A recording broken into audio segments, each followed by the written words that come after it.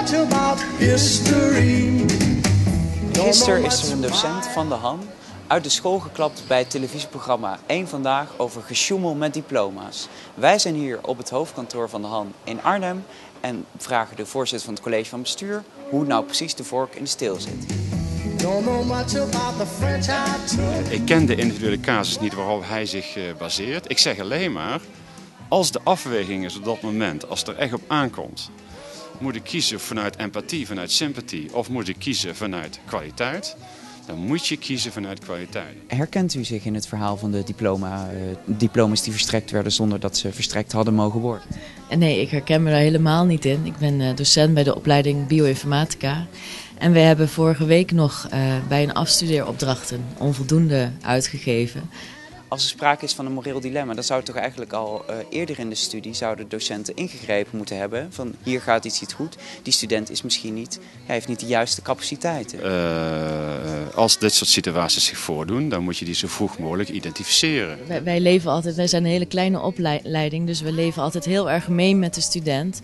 Maar net wat ik zei, van op dit moment voor die student is het sneu. En ja, het lag ook aan hemzelf dat we pas helemaal op het eind erachter kwamen dat hij inderdaad niet aan de eisen voldeed.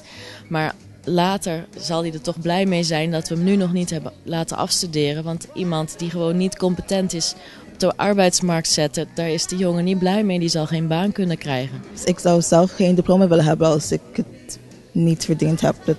Voor mezelf is het niet zo fijn. Nou werd in het programma gesproken door u eh, van individu- individuele gevallen. Terwijl de docent eigenlijk aangaf dat het op grotere schaal eh, voorkwam. Nou moet een van u beiden heeft ongelijk. Wie Ja, ik denk dat ik gelijk heb. Ja, ik bedoel, eh, en... zou ik ook voor, zeggen als ik voorzitter van het college van bestuur? Ja, nee, ja, natuurlijk. Ja, dan, maar dan moet u mij de vraag niet stellen natuurlijk. Hè. Maar eh, eh, eh, ja, dat is, dat is kijk, ik baseer mij op niet alleen wat ik zelf zie van de kwaliteit, maar hoe, hoe, hoe anderen over kwaliteit nadenken. De, de- een diploma wordt niet zomaar afgegeven. Als het echt over je diploma of zo gaat, dan, dan zijn er gewoon ja, regels daarvoor. Dat kan je niet zomaar doen, denk ik. Misschien bij een toets of een project zie je dat soms wel. Maar ja, dat is wel op een, op een kleinere schaal, denk ik, in tegenstelling met een diploma.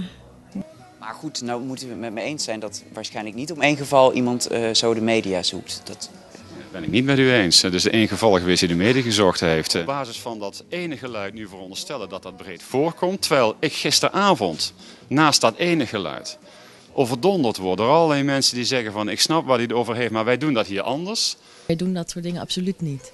Nou sta ik hier vol zelfbewustzijn en durf ik te beweren van dat het een incident is.